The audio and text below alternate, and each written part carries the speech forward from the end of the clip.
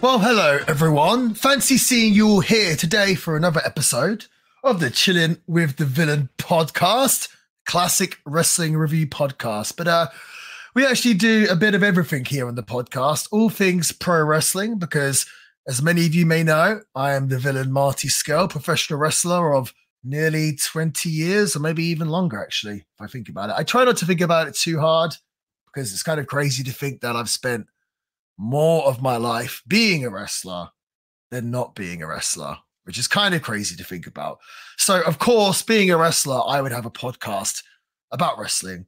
And yes, as many of you may know, normally we we, we review old uh, classic wrestling pay per views or PLEs as they're called now. In fact, there's one going on right now, the uh, the Saudi Arabia King and Queen of the Ring, but I'm missing it just to uh, come speak to all of you. But today's episode, a little bit different.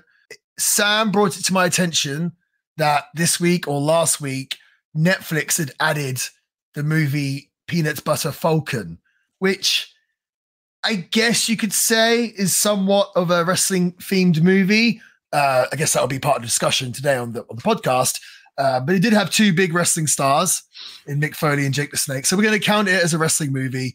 And we figured because it's been it's been added to Netflix, that was actually trending in the top ten. Is that right, Sam? Yes, it was. Yep. It At was. the time when we had the idea to do it, by the time There you guys go. are listening to this, I'm pretty sure it'll already be out of there. But maybe it'll climb back up again. maybe, it will because of what? Because of us. Yeah, I yeah, think so. I hope so. Well, it just seems like there's been like a, a renewed love for this movie because this originally came out in 2019. 19, right? I think. Yeah. Yes. Yeah. So and it I did pretty well at the time. You know, It it was like did. this, yeah, little indie darling movie. And yeah, I think it's getting like a new lease of life on streaming. So might as well cover it now, right?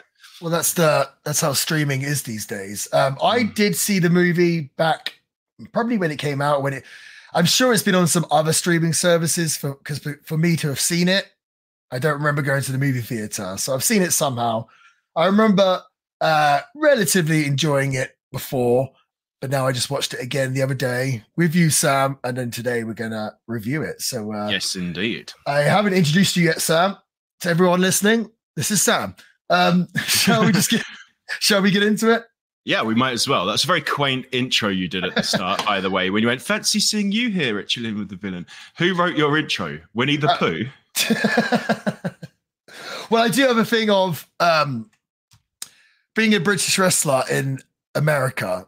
I don't tend to do it on this podcast, but if I do interviews or promos, I tend to speak a little bit more like Winnie the Pooh or Peppa Pig. Do you know what I mean? Or Peppa Pig, yeah. Just to make it more simple for people to understand. yeah. I'm looking like Daddy Pig today. That's not a good thing, is it? I don't. I uh, I guess I know what Daddy Pig looks like. Yeah, I always get confused between Peppa Pig and. Or am I getting confused right now? Peppa Pig is the cartoon, right? Yes. What's the um the candies at Marks and Spencer? What are they called? Are they also called Peppa Pigs? Oh, maybe they are. Are they? Hmm. Why would they, is it is it like a ca- a candy version of the cartoon? Don't know. Maybe they branched out and made a They're called Percy Pigs. universe. Oh, Percy Pigs. Okay, there we go. Percy Pigs. A lot of pigs in Britain, it seems. Yeah, well, well, well, well, we'll leave that there. Yeah, well, careful. Careful. All right, let's just get straight to it then. So, yes, the peanut butter falcon. Okay, I'm going to give you a little, the first like part of the synopsis, and then you're going to be like, Sam, why are you? Cu- this is a wrestling podcast. Why are we Mm. doing this? So it starts with this guy Zach, like young man. I think they said he's 22 in the movie. oh wow. And despite having Down syndrome, he has been kind of failed by the state and he's being looked after in an old person's care facility, right? And he's just like done with it and he wants to escape. So, yeah, why are we covering this on a wrestling podcast? Well, why does he want to escape apart from it's probably boring in there? He, to pass the time, just hammers this old VHS tape. And I think we've all been there where you just have like one tape and you run it into the ground. I don't know what yours was. Well, you say we've all been there. A lot of our newer listeners or younger listeners, should I say, probably haven't been there. True, but they may have a DVD or a streaming thing that they just keep hitting over and over again that they're obsessed with. Mine was the VHS for the South Park movie. you must have had stuff before that though. Oh, maybe Predator. I used to hammer that. We obviously had different childhoods. I think mine was the um the Little Rascals uh, movie. I used to watch that all the time. I used to watch the uh, Muppets Christmas Carol all year all year round. All year round. Jeez, Um, Uh, Honey, you know what I used to watch? So the more famous movie was Honey, I Blew Up the Kid. Shrunk. No, Shrunk the Kids was the f- more famous Okay, one. there we go. I've got it wrong already. So the more famous one was Honey, I Shrunk the Kids. I used to always watch Honey, I Blew Up the Kid. I should go back and watch that actually, because I probably haven't seen that since I was a kid, but I used Yeah, to watch that religiously as a kid. Don't worry, guys. We won't cover Honey, I Blew Up the Kid on the podcast. Unless I you want promise us you to. this, unless you want us to. I mean, we did Roadhouse. There's no wrestling in that. That was a bonus episode, though. I will put that up. Are we It just transitioning into a Movie review. movie review? I think we are, podcast? yeah, I think we are. But I promise you, this movie is tangentially related to wrestling. So this VHS tape that Zach just hammers is a an advertisement for a wrestling school for his hero, his this wrestler, his his this guy's hero, the saltwater redneck. And he watches it all the time. And when we watched him watching it, did you notice when they use kind of archive footage of wrestling to tie into the movie like where that was from or who that was i couldn't do it but then again my i don't have the encyclopedic brain of wrestling that, that you do but they must I'm- have just like taken archive footage right Well, original like the first clip was of Windham and Flair. Um, so obviously probably talking NWA and whatnot. But then the second clip it had no ring aprons, and I thought maybe it may have been world class, but I'm really not sure. I should probably Google it. It was like I even paused the tape to, or it wasn't a tape, but paused Netflix to uh, look closely, and I just couldn't work it out at all. So if anyone's listening and they've seen this movie and they know where the wrestling is from, please tell us because I couldn't work it out. yeah so zach makes a daring escape because he wants to go fulfill his life dream of becoming a professional wrestler which you can relate to Totally. He makes a very unrealistic escape from the care home in which they open up the bars and he greases up and slips out. And it just reminded me of that returning, like that recurring skit from Family Guy where the deaf guy is greased up and they have to catch him. This is what I was thinking of when I saw it. I was like, oh my God, they just stole their plot from Family Guy. Anyways, he goes on the run and he hides in this boat, uh, which was docked because obviously the care home supervisors are going to be looking for him. right. Meanwhile, this guy called Tyler, who's played by Shia LaBeouf, is gets he's a fisherman, and this is set in North Carolina. He gets fired from his job because he starts kind of he's kind of lost his way, and he's bringing in a league. I think he's kind of stealing from poaching from other people's like lobster or crab pots, and That's then and then you know selling it to the fishery or whatever. So it's like and it's illegal. He doesn't have a license, so he gets fired on the way out, he sets fire to his rivals' like um gear, you know, all their stuff that they The cages. fishing. the cages and all of that. Yeah, and then he runs away, and then obviously he gets in this boat and then speeds away. And who's in the boat? It's the boat that Zach's hiding in. So they meet and they in, initially, obviously, like Tyler has his goal, like his journey. He turns out in the end, he just wants to get to Jupiter, Florida, and start his own fishing charters. And his he's just wants to get out there, get to Florida, and doesn't care who's in his way. As you can tell by his attitude of like burning people's stuff down and being a bit of a bad egg. And obviously, Zach is now in his way, kind of, you know. So, like, what do you do? Well, it turns out Zach is kind of, you know, open with who he is and what he wants to be. And he tells Tyler that he wants to go to this place, this place further down in North Carolina where the wrestling school is. So Tyler's kind of like, okay, well, listen, like you can tag along with me until then, then I'm going to drop you off and then carry on on my journey. So fine, good stuff. Meanwhile, this care worker called Eleanor, who's played by Dakota Johnson, who is in, but incidentally, the Suspiria remake. Have you seen that that Amazon put out? It's one of my favorite movies of all time, but it does just Oh, no. does not get credit. Yeah, because it's a remake, so everyone just assumes it's She junk. was in Super she good, in dude. the social network. Did I make that up?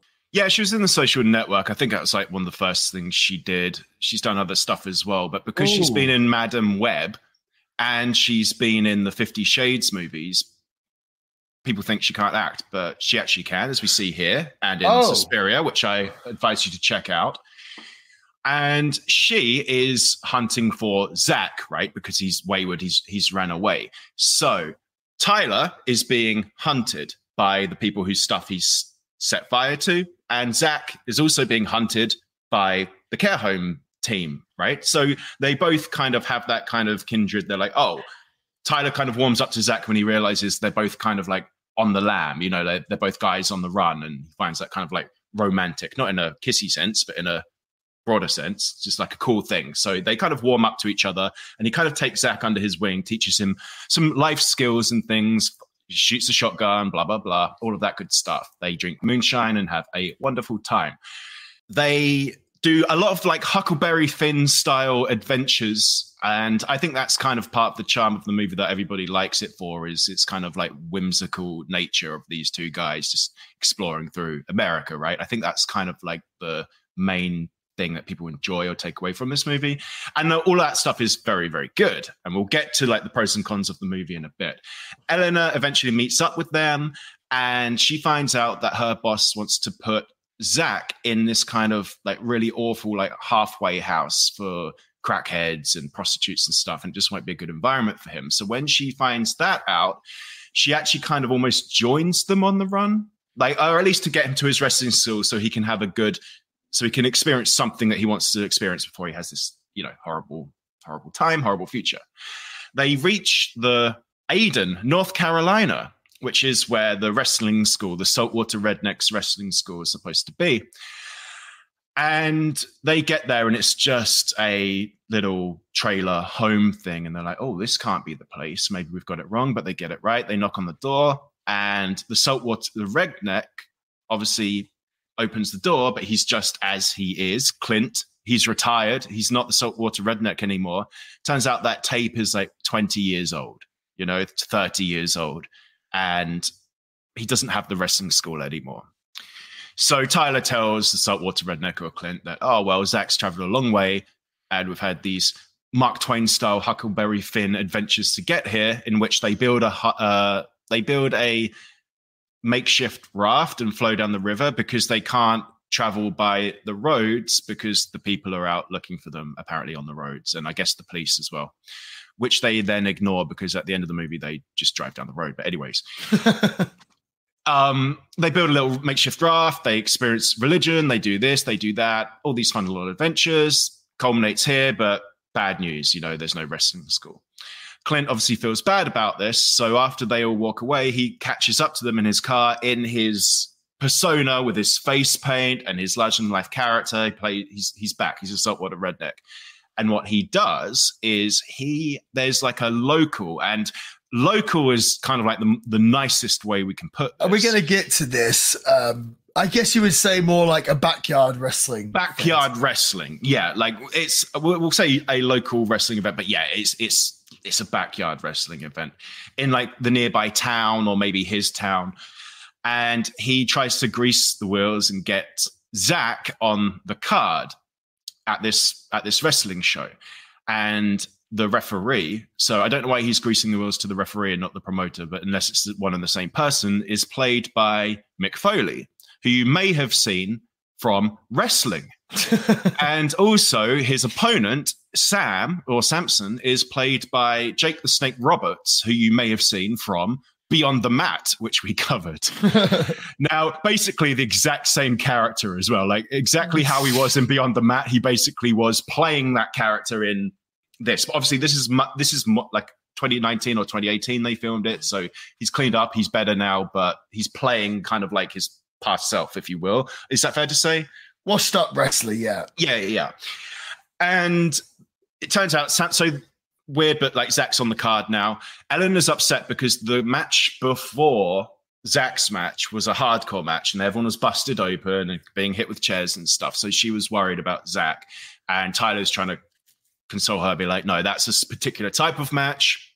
We don't, you know, that's not what he's going to be doing. So she's like, okay, cool. Then and also he uh, she can't prevent him because Tyler like handcuffs her to a steering wheel, so she can't get out. But anyways, Samson starts like kind of being a little bit rough, like he's Vader, right?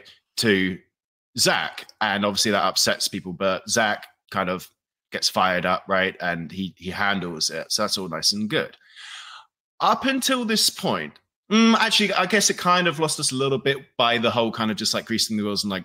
I know you want to get into how they portray wrestling. Um, I, I will leave you to do that bit because you've got good you've got good thoughts on that.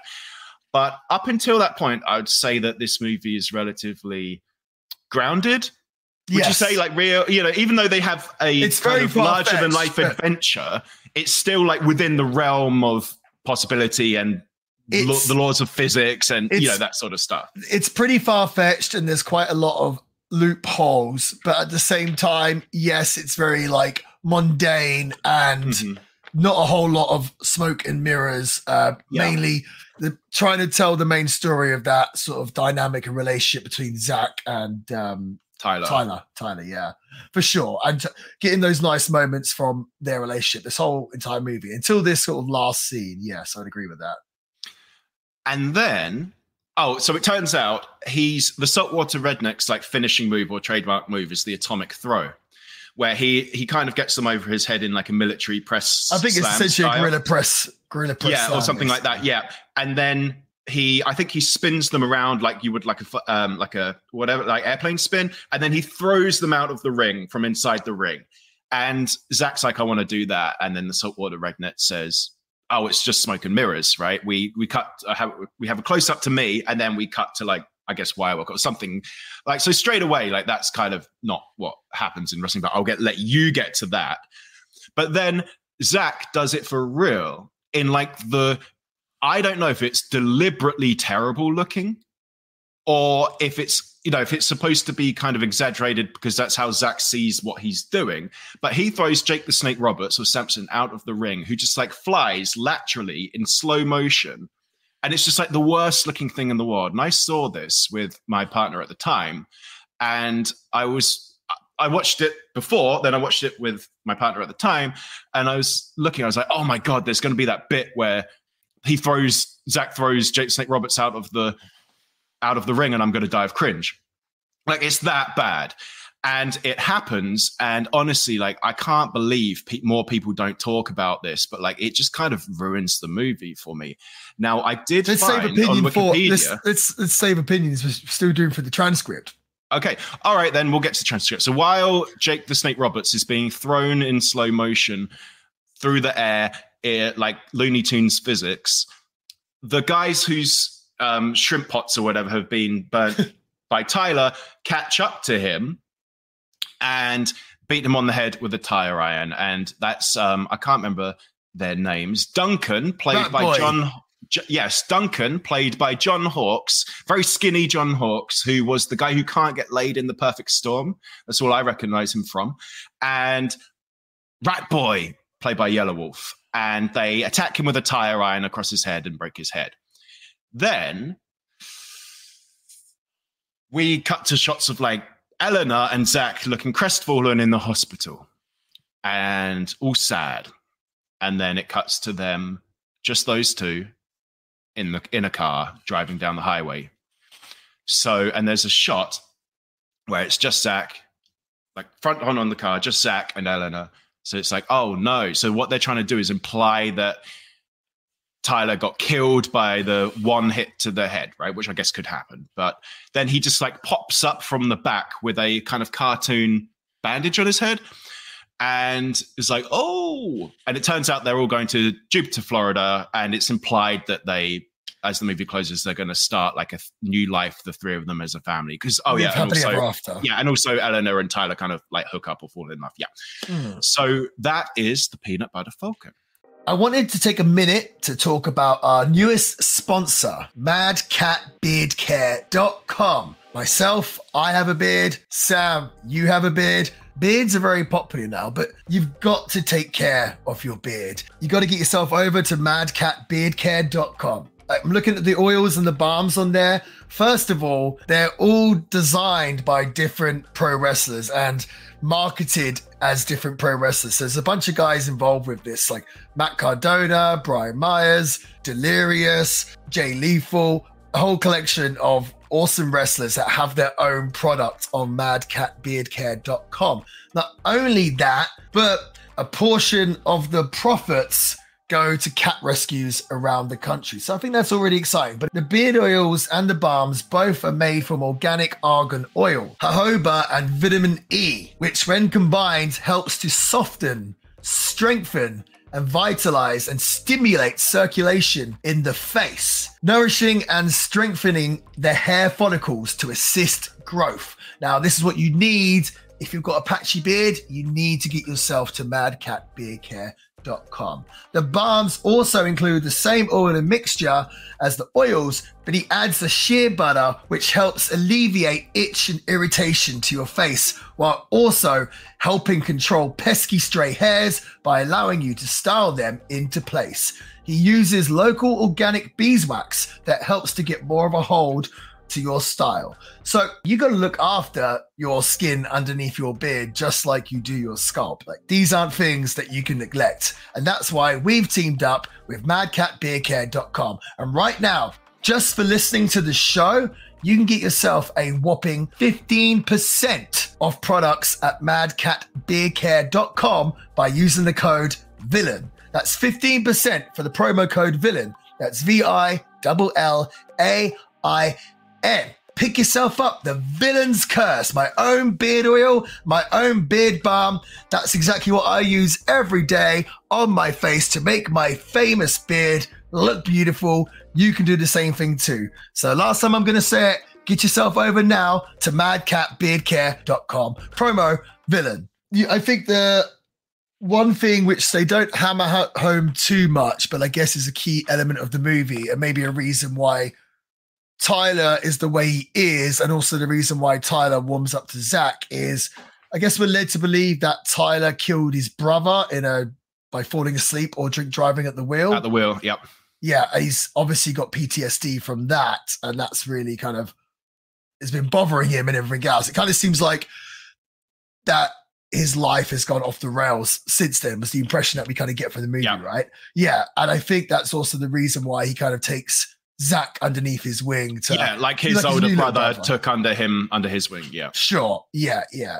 Um, so yeah, I mean, there's a lot lot to go over there. Um, I guess if we wanted to start with the pros, um, like I said, I feel like the the majority of the movie, seventy five percent of the movie, if not more, is pretty pretty good. I think if you don't take it too seriously with the kind of story and the plot, I think you can really enjoy it because first of all, I do think the I mean, first of all, I think the main thing is Zach, whose real name in real life is Zach.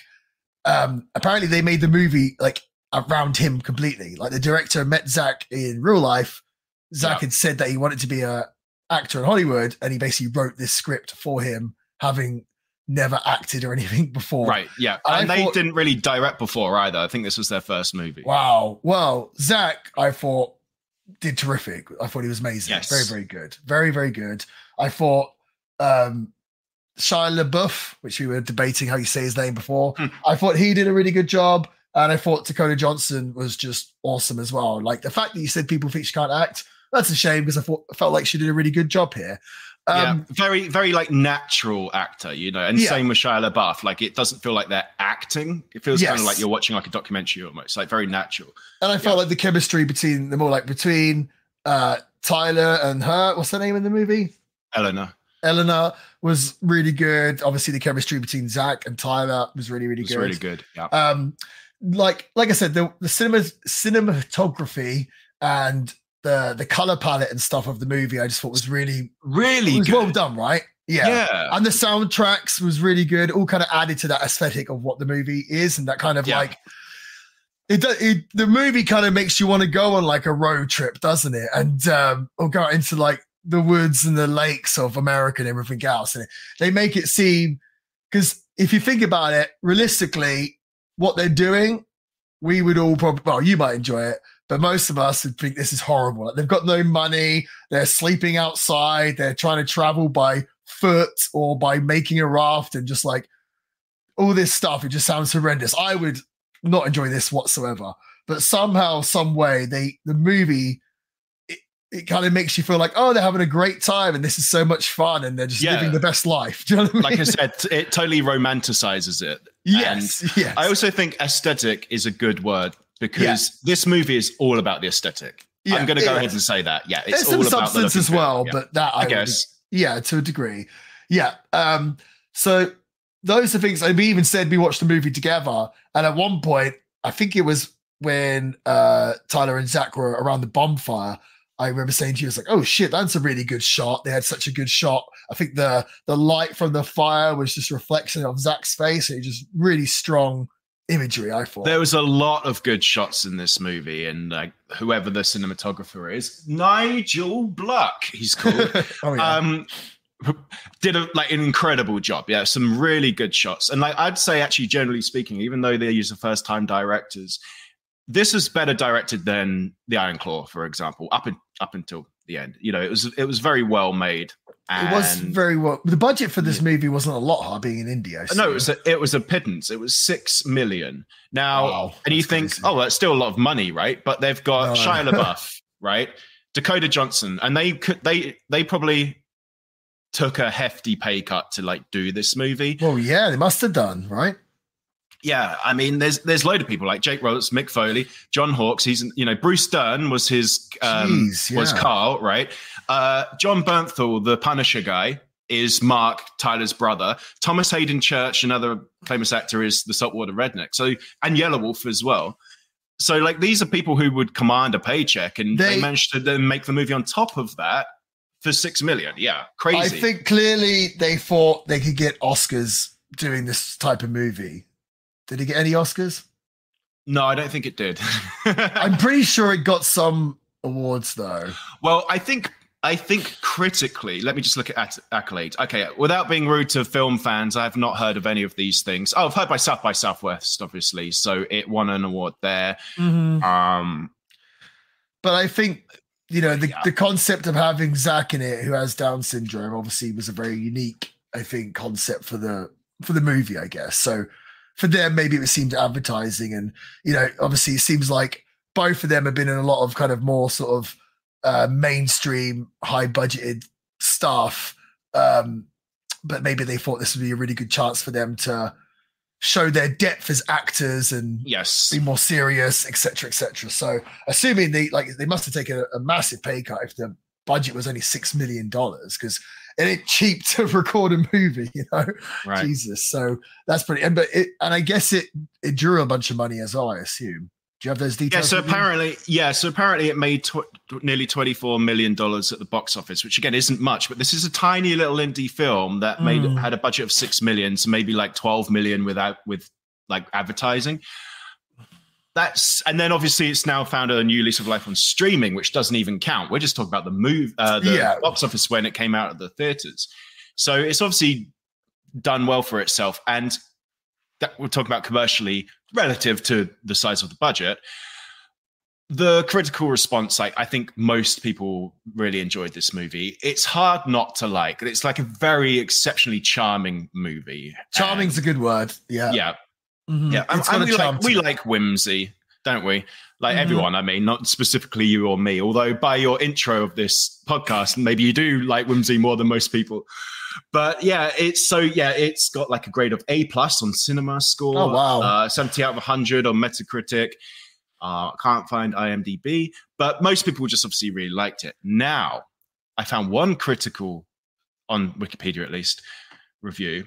David Fear of Rolling Stone felt that the climax veered close to magical realism, which I think is a very nice way of putting it. Well, But he, that's like the only kind of um, time I've seen somebody kind of complain about the exact same parts that we're complaining about.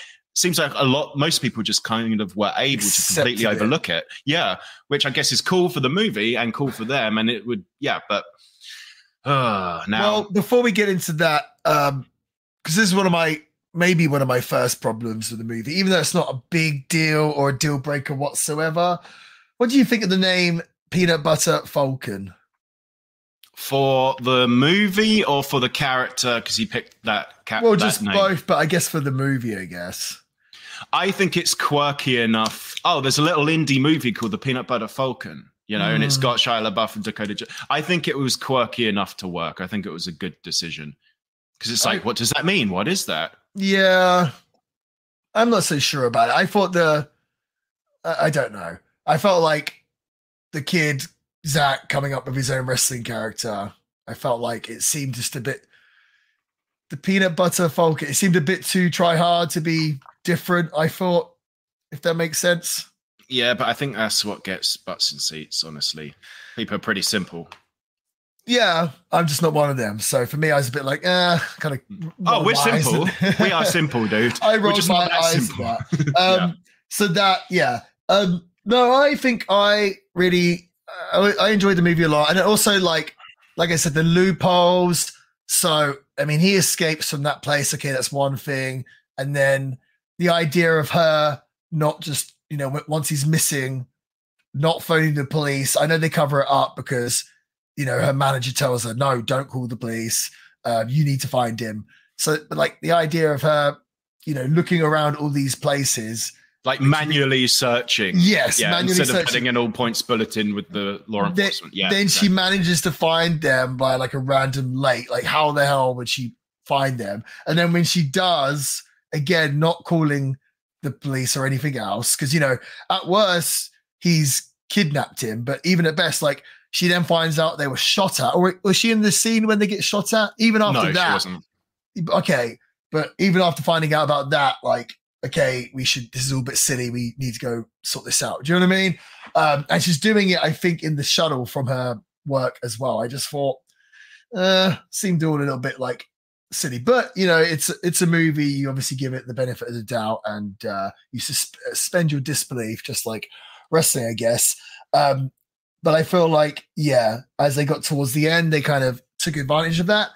Um, I feel the wrestling part obviously couldn't really tell what they wanted it to be, and I thought the Mhm, idea of mhm. the idea of him watching old wrestling tapes, and then they finally get there. It's a trailer, and saltwater redneck says, oh, "I closed the school ten years ago." I thought like, "Oh, that's that was really quite good and, and clever and Yeah. quite a good."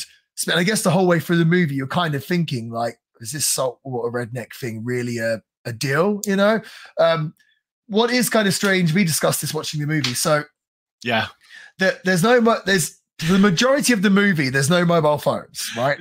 right. Towards yeah. the end, one comes out, but we're going to assume this is before there were smartphones and there was like internet or anything like that. She has a flip phone, right? Which is, I guess, the justification for Google Maps not being in this universe at this point. yeah. Where you just see that the business is out of business. or Yeah. could they not call? I mean, even on, I assume on the commercial for the saltwater redneck, there's like a phone oh, number. a number, yeah, probably. Right, but they could have rang up and just been like, "Hey," um, but they just go, they just take this kid's word for it. Do you know what I mean? Like he's got the address somewhat, but nothing else.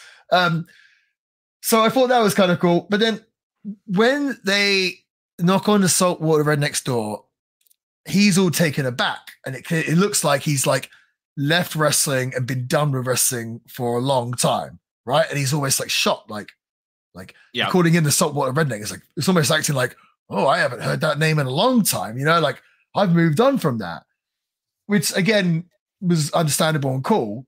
And even when he busts out the costume and stuff, you're like, oh, okay, cool. But then you kind of find out, okay, he hasn't totally moved on because he's involved Friends in some backyard. Local he's- federation. yeah. and he's also hanging out with another washed up wrestler as well. Yeah. Which is Jake the Snake. Uh, I will say this the saltwater redneck, I thought he did look like quite a good washed up wrestler. And I feel like it would have been stronger if he, I mean, maybe this wouldn't have worked as well, but if he would have said, okay, but I can take you to like a local wrestling event or a local wrestling school or something. But then he kind of goes to this, what they try to make out is like a local wrestling show, but it's not even that. It's like in the woods, there's a ring, and yeah. And it's like, it's basically backyard wrestling, but backyard wrestling is always just like kids on messing mattresses. around. Yeah. Right. And like if they do have a ring, that can happen. But again, it's still like kids and they're playing with like tables and chairs and stuff. Not like like Jake the Snake who's playing this wrestler Sam, who's like a, a you know washed up ex wrestler. It's not like he was a famous wrestler and then he's like gone into like backyard, Backyard wrestling. It just doesn't really yeah. make sense. Do you know what I mean? And then them just to be like, can we get him to wrestle? When he's had like zero wrestling training or anything else, I think it would have been better. Like, we, like we've done stuff like this on shows where I don't know, it's a kid's birthday or something, or maybe they do have a um a disability, you know, and you want to do something with them. And me playing the bad guy, I'd be like, I go up to them, push them, and I'll say, Hey, push me back, kid. They'll push me back, Yeah. and I'll take a bump, boom, and everyone, yay, you know what I mean? it, Yeah. But here they were kind of like, no, we're going to put Zach, who's you know, who has this condition and zero wrestling training. We're going to have have a wrestling match on this show against the washed up old wrestler. And at first, I thought it was going to be like the washed up old wrestler, like basically just what I just said, you know, like takes him through it. But then this happens in a lot of movies and TV shows. They can't decide if they want to like portray wrestling as a work or a shoot Right. because all of a sudden it kind of like goes into a shoot. Or I don't know if it was like what you said, where they started working, but Sam, Jake the Snake, is trying to take advantage of him. It, it just that already just super lost me with the Mhm. wrestling part, and Mick Foley there as the referee, and he's you know being the ring announcer. But then yeah, that the gorilla press over the top rope. Uh, I'm guessing maybe should look into it. I'm guessing it's supposed to symbolize what Zach thought he was doing, and I think if that was, I mean, that's the only way it could make sense. If that was the case, they needed to demonstrate that better. I feel they needed to make that more obvious, you Yeah. know, even if they had like a white flash or something else. Um, so I ended up finding the movie not the most satisfying with the finish. And Yeah. then just the idea, like after you get smashed in the head, that's enough for them to be like, okay, we're all moving to Jupiter and we're going to be one big family now and we can drive and forget about the people chasing you. Well, I guess they hit him over the head. So, but the police or anything like that, just forgotten about. Um, I guess she's leaving her job. Uh, I don't know. Um, yeah, it honestly kind of reminded me of our last movie review, The Iron Claw, where the whole movie, you know, was kind of real. Then at the end, they had that weird um, Afterlife. yeah. afterlife scene. And I was like, Yeah. that came out of nowhere. This whole movie's been real. Now we're just doing that sort of thing. Exactly the same thing with this. It's like Very me, jolting. Well, at least for me, cons- like it makes yeah, you got to stay jolts me, yeah. consistent, right? You can't break Agreed. the fourth wall during a movie, right? Or or at least sprinkle these Yeah. dream like reality breaking things in so you understand that that's the narrative it's like oh okay so it isn't you know these things we can take with a pinch of salt because it's obviously the characters like thoughts and feelings that are pervading the part with uh where zach is allowed on with no with his condition and no experience is that part doesn't bother me that much. I mean maybe instead of peanut butter falcon they should have called it mass transit. But Oh, Jesus. the so that part doesn't really bother me but the ending uh, well and obviously the part that bothered me was the mysterious throw you know the whimsical throw reality breaking throw. But yeah the just the ending is supposed to be cute like the actual Mm. final ending where they those three are driving off as a family in to, uh, to florida to start their new life together and it's like lovely right Mm. but that's how and then it ends but like you're just sat there thinking no because she's going to be arrested he's going to be arrested and Yeah. zach's going to be in a home now they're not going to florida like this is a horrible story this is depressing Yeah, it would have made more sense.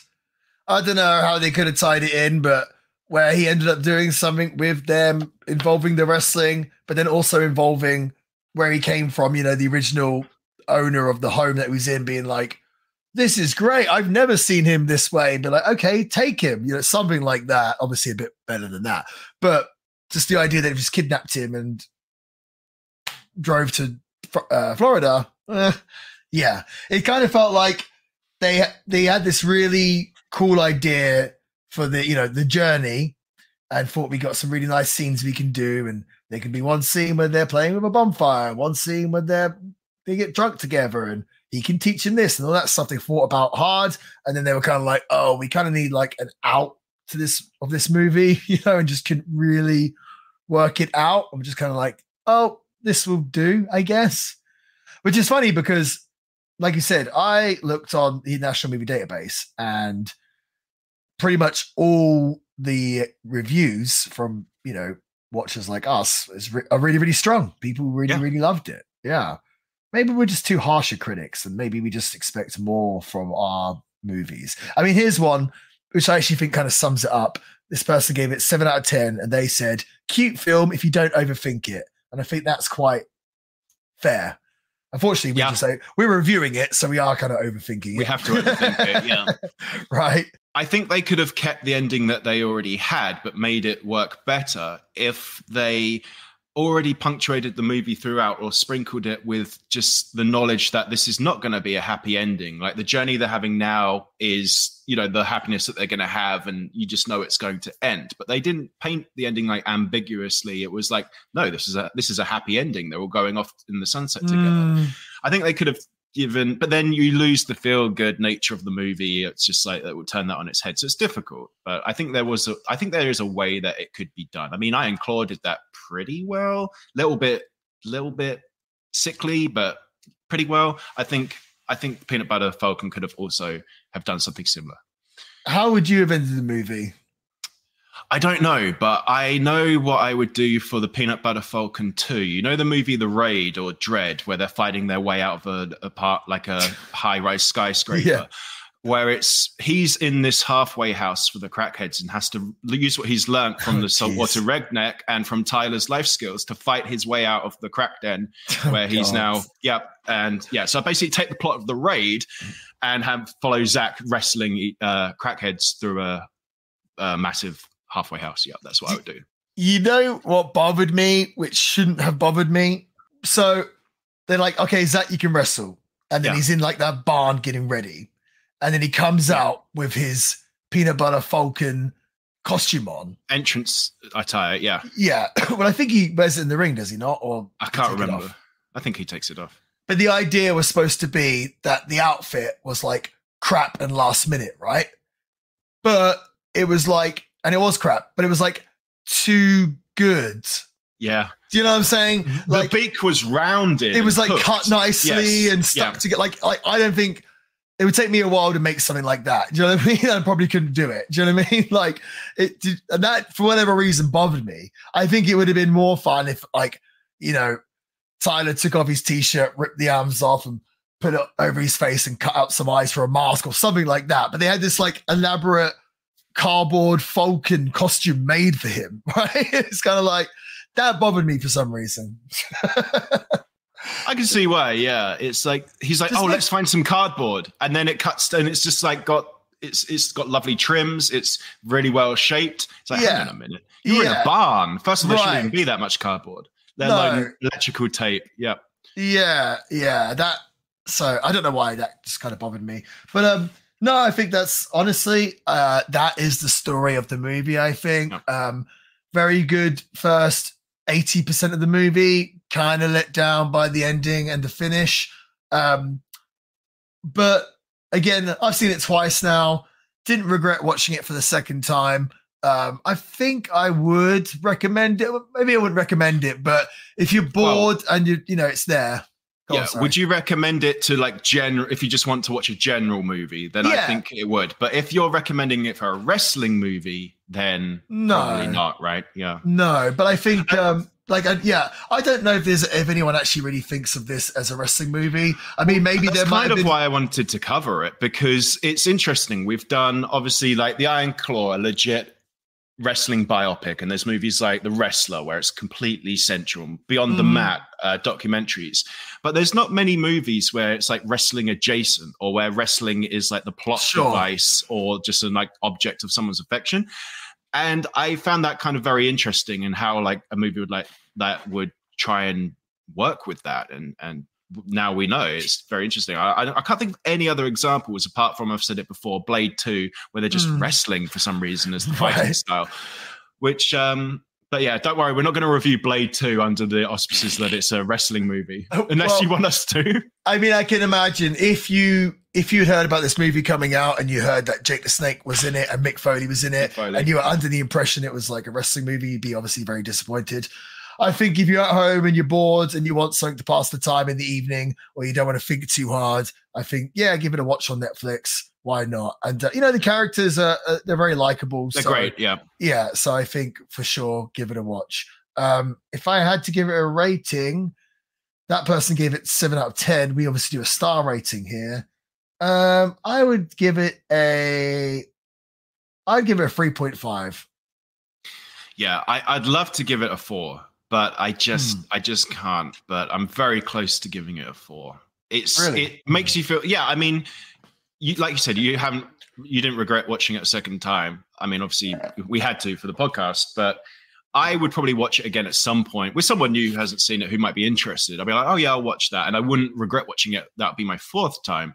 So hmm. obviously, like there is something magnetic about this movie that makes you feel good watching it, and that accounts for a lot. Uh, it's just they don't stick the landing. You know, it kind of poos the bed right at the end, and it's like.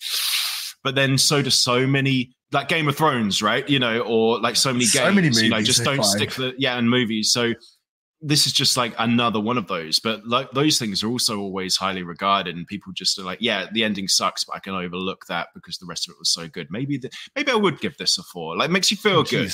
Yeah, mm. yeah. Wow. And like you said, some of the cinematography is really good. The, yeah. the plot is so simple and very charming, and the characters are really likable. Even like Tyler, who's like a bad egg, he's still like very redeemable, and like you understand him. He's not he's not 2D. Like there's layers to him, and also to Shia LaBeouf's acting. So yeah, I think. Oh, and the acting is just on point throughout the whole thing. So that yeah, I, I, would, I think I would give it a four. That I would agree with. Well, if you uh, if you found this podcast and this review charming. If you've enjoyed this, then uh, give us a five star review on the old Apple podcast. That would help us out with the algorithm. And if you do, we will read out your review on the show and you'll get a shout out for free. Um, of course, we're on the uh, social medias at the Villain Pod. Check us out on YouTube, TikTok, you don't stop, and Instagram, of course. Uh, but no, Sam, I enjoyed it this week. And uh, yeah, I'm going to throw it over to you.